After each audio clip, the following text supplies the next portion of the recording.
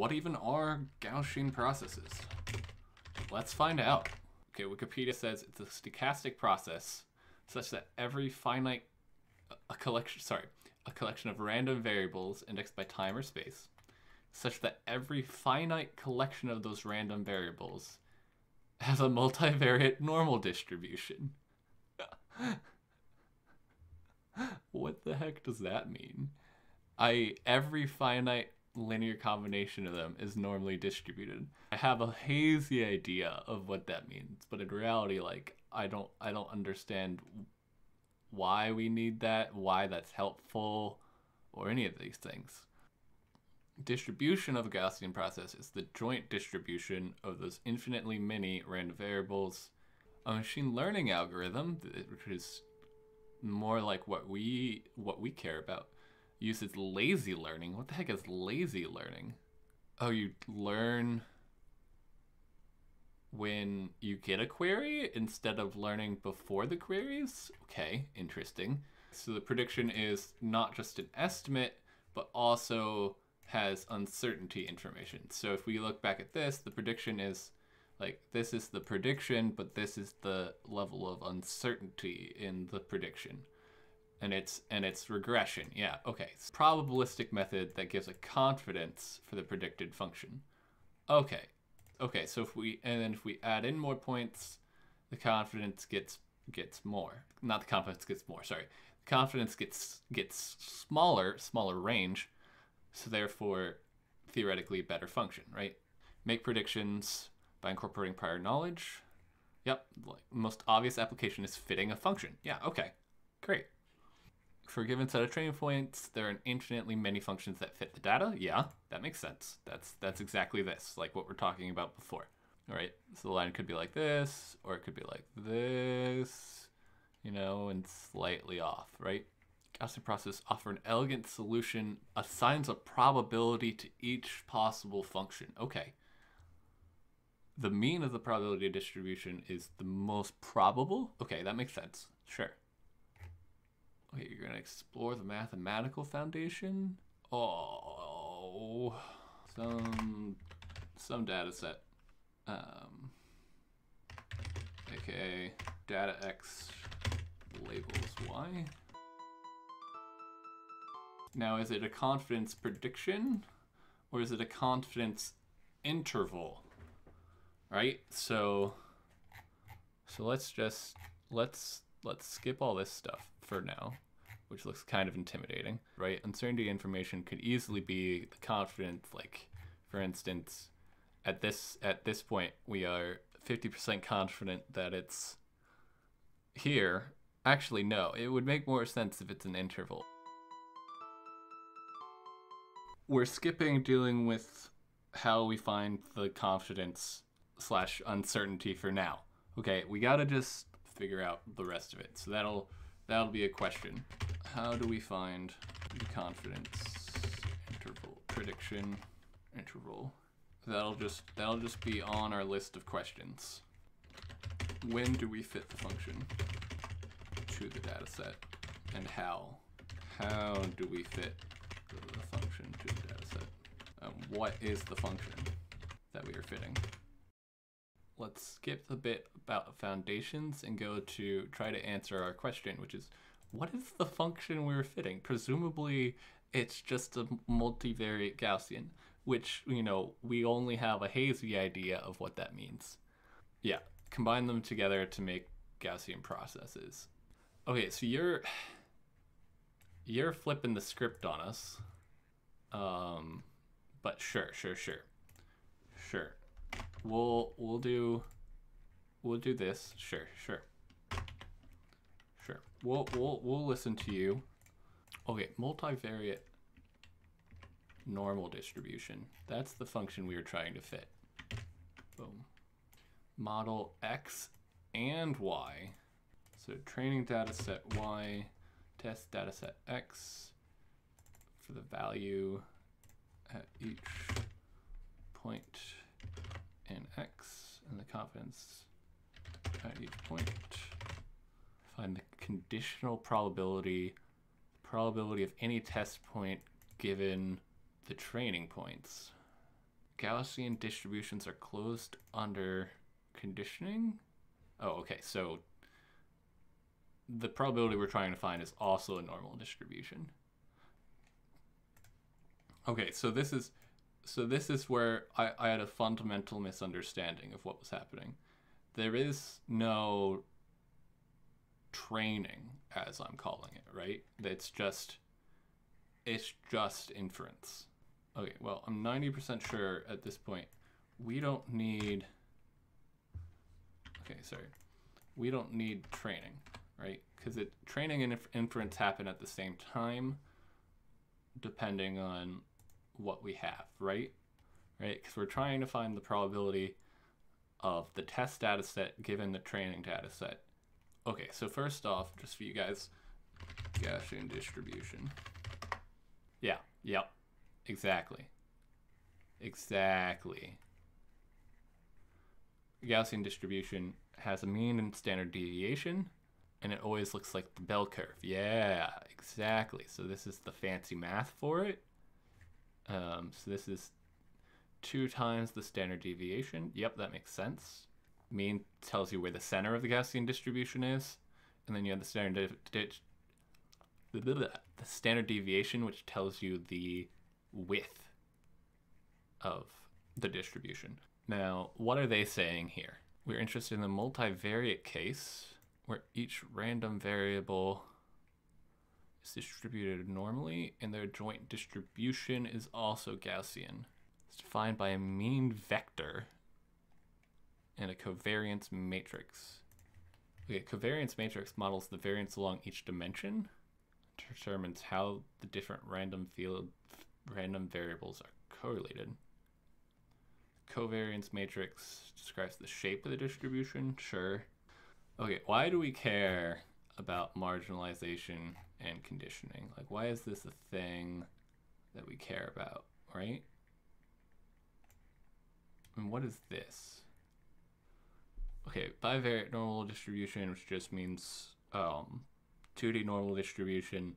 On the right, you see the distribution conditioned on a given x which is similar to a cut through the original distribution. So now, now we're down here, you can see it's most probable in this region. And then when we bring it closer here, it's closer to the center. And then now we're moving it over to the top because we're taking a slice of, of the area at each of these points.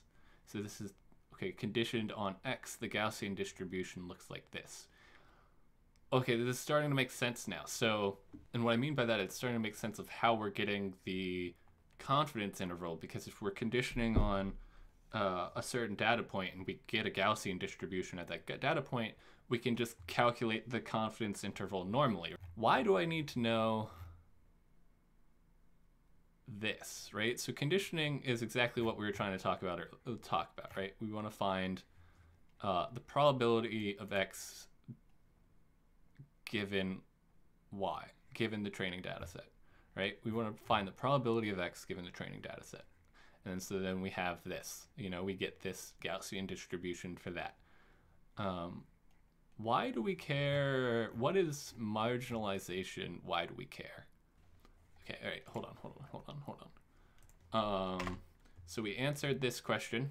We get a Gaussian distribution as output. We naturally know. Um, right, so this is actually a Gaussian distribution for any for a given point.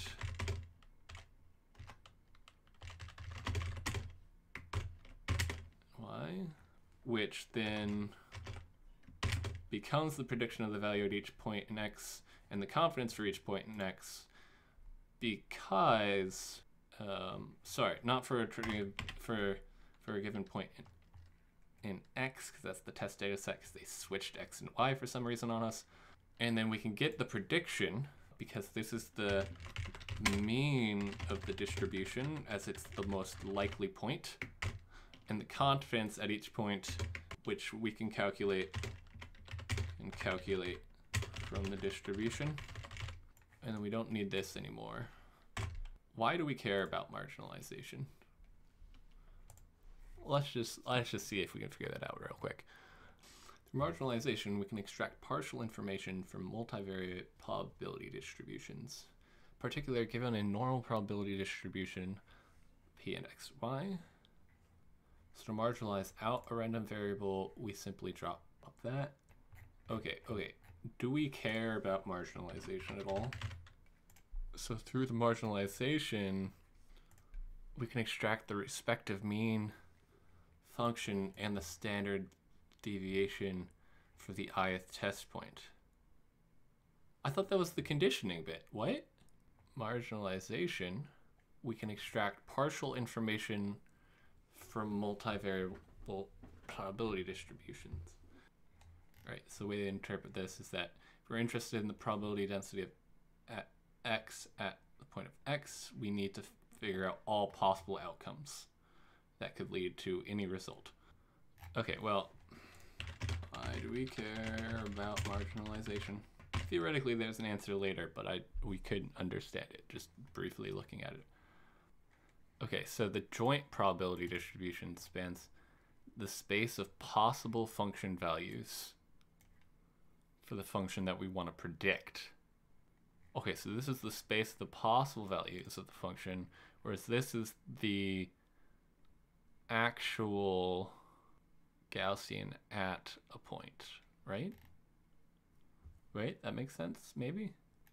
Okay, covariance matrix is determined by a covariance function, which is called the kernel, okay? In Gaussian processes, we treat each test point as a random variable. A multivariate, a multivariate Gaussian distribution has the same number of dimensions as the number of random variables. Since we want to predict the function values at the size of x equals n test points, so for at n at n different test points, then the corresponding Gaussian distribution is also n-dimensional. Making a prediction then boils down to drawing samples from this distribution. We interpret the ith component of the resulting vector as the function value corresponding to the ith test point. Oh, okay. I was wondering how in the world we go from, you know, a 10 dimensional thing to a single value, right? Like, I was wondering how that, when do we want to fit the function to the data set? How do we fit the function to the data set? Why do we care about marginalization? We fit a multivariate Gaussian distribution to our data. I mean, we need to incorporate the the the the training data somewhat somehow. Okay, so I assume that's figuring out what the covariance matrix is and what the mean is, which is what this talks about. Okay. In Gaussian processes, it often assumes that the mean is zero, which simplifies the necessary equations. Even if the mean isn't zero, we can add the mean back to the resulting function values after prediction. You center the data on zero, and then later, if necessary, you can just add it back. Okay, that's fine. So how do we, yeah, exactly. How do we set up the covariance matrix? Right, because the covariance matrix is the thing that tells us everything we need to know about our distribution. And the, the and what are the functions the characteristics of the function. Yep.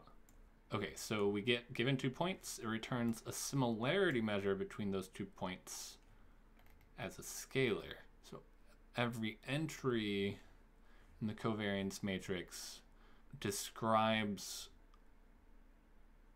the influence the ith and jth point have on each other. Influence is kind of a hazy word. Like, what do we mean by influence? Like, it kind of makes sense. Just like intuitively, it's,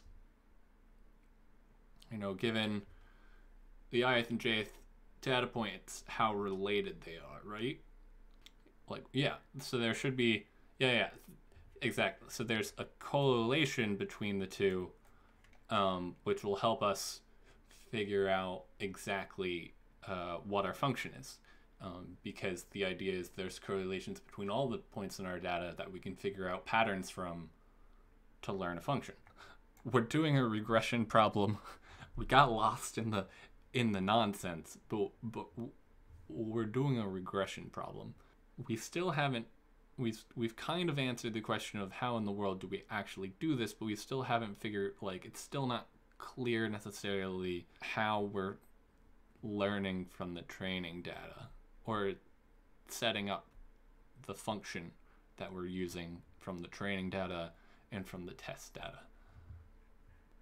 Okay, so what happens? Yeah, exactly. Exactly. What happens if we take into account the training data? Yes. First, we form the joint distribution so we concatenate the training and test points to co compute the corresponding covariance matrix. Using conditioning, we can find, yeah, so we can find the probability of x of any of probability of any test point given the training points from this. Okay. The dimensions of this new distribution matches the number of test points. Okay, so we're finding probability of all test points given the training points the intuition behind the step is that the training points constrain the set of functions to those that pass through the training points. Okay, so yeah, so that's set of possible functions. If we go back to this earlier, so these are our training points.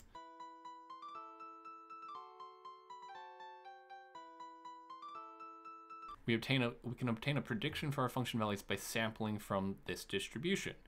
But this involves random choosing Okay, so we don't want to randomly choose a point from this distribution. So that's where marginalization comes in. Oh, using marginalization, that's how we get the mean and standard deviation. Ah, and then the mean and standard deviation is how we calculate the actual value that we care about and the confidence. Okay, so if, if, if we're doing that through marginalization, how exactly does marginalization work? right? So, so now is when I want to know how marginalization works. Marginalization, we can abstract partial information from multivariate from from probability distributions, given this pro the probability distribution over x and y, to marginalize out a random variable from Gaussian distribution. So this is this is literally finding Oh, oh, oh, I see. I see, I see, I see. At this point, that if we're interested in the probability of, yes, exactly. If we're interested in the probability density, probability of any specific test point, we need to look at all possible outcomes of the training data that could lead to the result. I want to to write that in my own words. It's a way to determine p of x from from any specific test point given both the training and the test points. So how does it work? We take into account the integration all possible values of y at the value of x. So we take into account all possible values of the training data set at the value of the test, the test point that we're trying to determine. How do we use it? How do we use it? Interesting. Right, well this says we're using it to find the probability density, but down here we're saying we're using it to find the mean and standard deviation. Right? Did I did I simplify did I oversimplify it? Is it is it not just Oh, oh, oh. So this is this is probability dish wait, no. Wait, I'm confused. This should be Okay, so this should yield a Gaussian distribution. We simply drop the variables from the mean and covariance matrix. I mean, math, this math makes sense, but we're it feels like we skipped a step Okay, okay, okay. I've missed, I've missed something. Covariance matrix ensures that values that are close together in an input space will produce output values that are close together. That makes a lot of sense. Right, so we've set up this joint distribution, and then we can condition on this to get the probability of the test asset given y, Sure. what exactly what exactly we're doing, right? So let's let's skip marginalization again. Um, because question mark question mark do some math and you get the mean and standard deviation. Okay, so conditioning, we take a cut through this and we get a new why do we need why do we need marginalization at all? Right? Because like here here we can see the condition if we condition it probability of the testing data points depending on the training data points we have a formula for it right? We can get our our mean and standard deviation. Why do we need marginalization right? It's because like as we can see here we can take a cut through this, figure out that the mean value, uh, when our value is x, the mean is point, you know, negative 0.77 or whatever. And, you know, marginalization is telling us the same thing, but like, why do we need, why do we need that at all? Okay, marginalization gets the probability of various values of the variables in the subset without reference to values of other variables, whereas the conditional distribution gives the probability contingent, contingent upon the values of the other variables. Why do we care about marginal distribution then in Gaussian processes? Like, oh, oh, I, I understand. I understand. okay, so so what's happening is we use conditioning to find probability distribution of any of, of all of the test points given the training data points. That's great, but when we want to find the value at any specific test data point, we have to marginalize the test data points so that our function depends on only the possible values of that test data point and none of the other ones. Oh. It's a way to make probability distribution of multiple variables depend only on one variable. How does it work? We take into account all possible values of all other variables at the value of x. How do we use it? We do the math, get the mean and standard deviation of the Gaussian normal distribution, whatever you want to call it, um, at the ith test data point. A way to determine the probability of one variable given another variable. How does it work? How does it work? It's just math. Uh, that's bad. That's a bad. That's that's bad, bad nightmare. Uh, oh gosh, I know what conditioning is. I know I've, I've, known what it was before this. I didn't know what marginalization was, uh, but I knew what conditioning was. I think it's just a definition, right? Like it's just a thing we do, right? Like even marginalization depends on conditioning. Like this is a condition, the probability of x given y. It's just a thing, right? Oh gosh. Okay, now I'm questioning my whole existence. Whatever. How do we use it? So we condition the probability of the test dataset on training dataset and multivariate Gaussian distribution for the whole test dataset. So I'm going to rewrite this in terms of how does this actually work?